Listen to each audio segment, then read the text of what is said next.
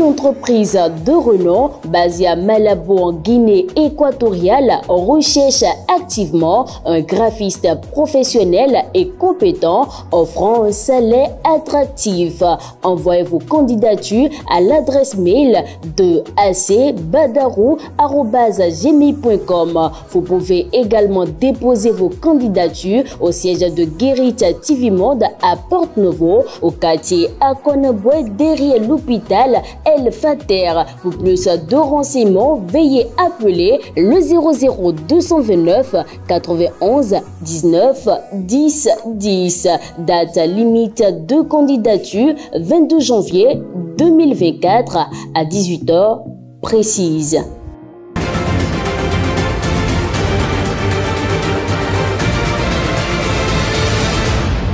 Guéry TV Monde, le leader des Web TV au Bénin. Première édition de Guérit TV Monde après les congés de fête de fin d'année. Bonsoir à toutes et à tous et merci de nous préférer. Au sommet de cette édition, présentation des vœux du nouvel an à la Chambre de commerce et d'industrie du Bénin. Le président Arnaud Akapo a formulé les vœux de succès aux partenaires de l'institution ce 13 janvier 2024. Dans l'affaire de détournement de plus de 2 milliards de francs CFA à l'obsus, le directeur général de l'institution ne sera pas jugé pour le moment. La raison de cette décision de l'une des chambres correctionnelles de la Criette est à découvrir dans ce journal. Et en sport, les Lions de la Teranga ont dévoré la sélection gambienne cet après-midi dans le cadre de la Coupe d'Afrique des Nations Cannes Côte d'Ivoire 2023. Voilà tout pour les titres. Le développement, c'est après ceci. Triste nouvelle à l'entame de cette édition. Le directeur de la radio KFM, Jérôme Kalos, a tiré sa révérence ce 15 janvier 2024. Nos sources renseignent que l'homme qui fut chroniqueur est décédé des suites d'une longue maladie dans sa 80e année. Le journaliste émérite fut également analyste politique et écrivain toute la presse béninoise s'incline devant sa mémoire. De la mort aux présentations des vœux du nouvel an à présent, le président de la Chambre de commerce et d'industrie du Bénin, Arnaud Akakbo, a sacrifié à la tradition de la présentation des vœux du nouvel an aux différents partenaires de l'institution. C'était au cours d'un cocktail organisé dans la soirée de ce vendredi 12 janvier 2024 dans le jardin de la CCI Benin. Le compte rendu vous est fait par Latifat Kaweno.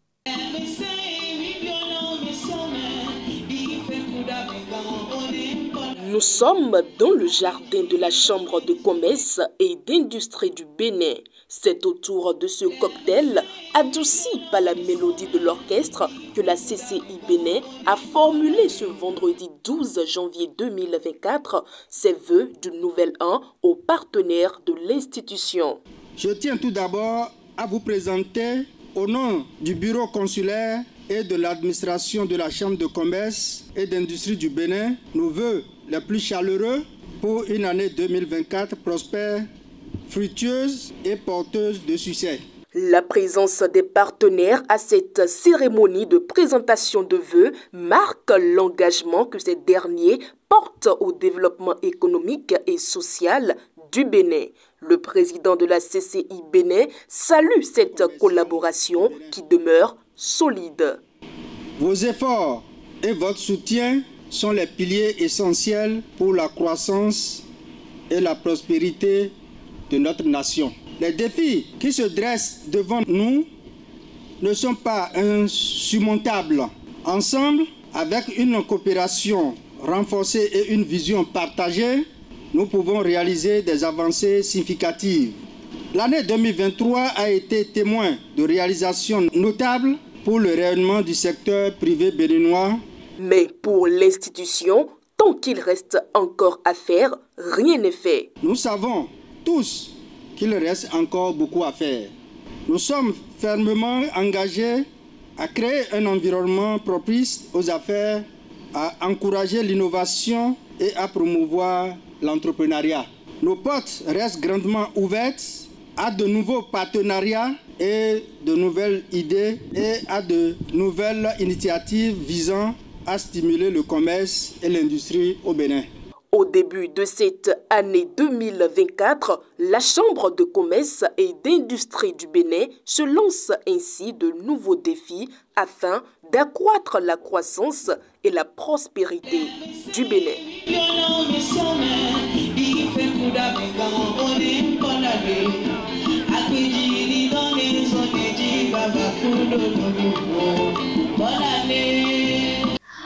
Une brève à chers téléspectateurs dans ce journal. Il n'y aura pas pour le moment un procès pour le directeur général de l'OBSUR et ses co-prévenus. Le dossier est désormais renvoyé devant la commission d'instruction de la Cour de répression des infractions économiques et du terrorisme Criette.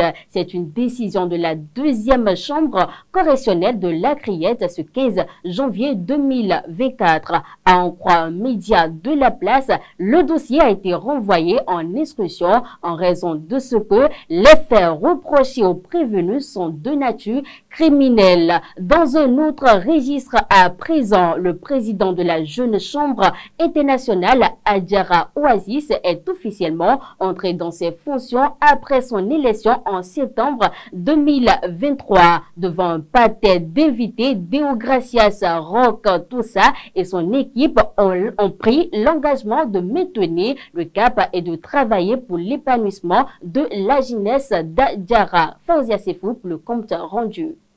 Je déclare lancer le mandat 2024 de la Jeune Chambre internationale Adjara Oasis. Et c'est ainsi lancé le mandat 2024 de la Jeune Chambre internationale Adjara Oasis. Deogracias Roque Tossa et son équipe, dans leur plan d'action, s'engagent à maintenir le cap et à impacter davantage la jeunesse d'Adjara au cours de ce mandat à travers trois activités phares. Nous avons le projet Je suis jeune, j'ai un métier qui consiste à former des jeunes sur les métiers de la photographie professionnelle et du graphisme. Nous avons le projet Light Up qui consiste à former des jeunes également sur l'installation solaire photovoltaïque. Et enfin, étant d'Adjara, nous voulons amener les jeunes, les jeunes de la commune d'Adjara à connaître les différentes percussions euh, des différents tambours qu'on fabrique dans Adjara. Donc essentiellement, c'est les trois grands projets qui aura sur le mandat, sans oublier les questions de formation et autres. Plusieurs personnalités ont marqué de leur présence cette cérémonie qui ouvre l'année 2024 à la JCI Adjara Oasis ce 13 janvier 2024. Le vice-président exécutif national assigné à la zone A a félicité toute l'équipe dirigée par Deogracias Rock-Tossa et les a invités à œuvrer davantage pour conserver leur titre de jeune leader. Je voudrais après toute la présentation que le député président a eu à faire prier les membres de la Jeune Chambre internationale Adjara Oasis à s'impliquer et à accompagner le mandat 2024 afin qu'au soir de cette année, que nous puissions ensemble trouver que le bilan qui a été fait est un bilan positif. Je recommande donc aux membres de ne pas rester dans leur coin, et de partir vers l'aventure. Pour assurer le succès de cette mandature, plusieurs partenaires ont pris l'engagement unanime d'accompagner l'équipe dirigeante de la JCI Adjara Oasis. Je m'engage à travailler pour soutenir ces actions et initiatives du plan d'action de l'année. Nous sommes déterminés à renforcer notre collaboration pour le bien-être de notre communauté.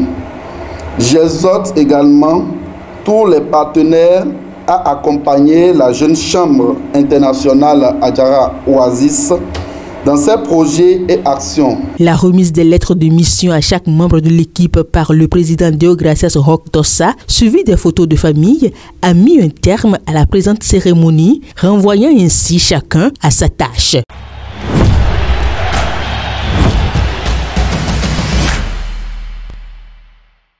Entrée imminente des Lions de la Teranga dans la 34e Coupe d'Afrique des Nations Cannes Côte d'Ivoire 2023. Le champion en titre a battu la sélection gambienne cet après-midi avec un score de 3 buts à 0. Latifat Kawino.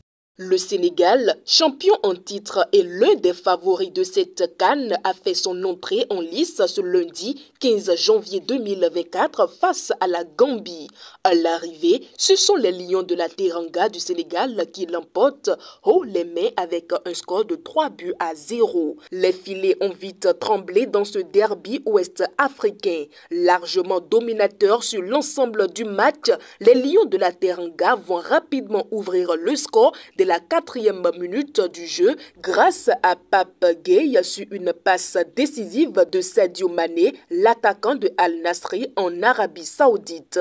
À quelques minutes de la pause, Ebou Adams va écoper d'un carton rouge, laissant les scorpions de la Gambie déjà en difficulté évoluer en infériorité numérique. Du retour des vestiaires, le jeune milieu de terrain sénégalais du FC Metz en Ligue 1 française va crucifier les espoirs en marquant les buts du 2-0 et du 3-0 respectivement à la 52e minute et 86e minute de jeu. 3-0, c'est sur ce score que les Sénégalais et Gambiens vont quitter la pelouse du stade Charles Konabani de Yamsoukro. Un début très correct des hommes de Aliou Cissé qui vont chercher à conserver leur titre. Auteur d'un doublé, Lamine Camara a été désigné logiquement homme du match.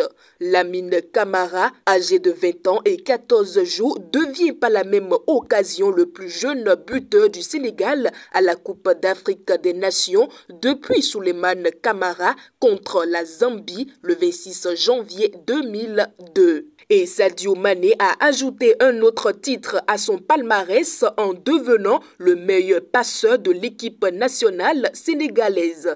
Avec sa passe décisive contribuant à l'ouverture du score, Mané a atteint un total de 26 passes décisives en sélection, dépassant ainsi tous les autres joueurs. Ce nouvel exploit souligne la polyvalence exceptionnelle de Sadio Mané qui excelle non seulement en tant que buteur, mais également en tant que créateur d'occasion. Son rôle crucial dans l'équipe nationale sénégalaise lors de la Cannes 2023 ne fait que renforcer sa réputation en tant que l'un des joueurs les plus complets et influents du continent africain.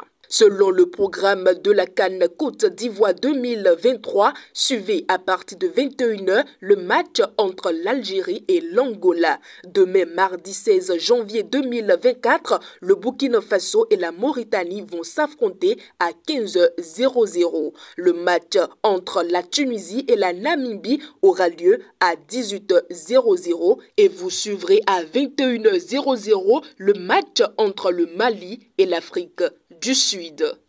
C'est sur cette victoire des Lions de la Teranga que nous refermons cette édition du soir. Merci d'avoir été des nôtres et d'ici là, portez-vous bien.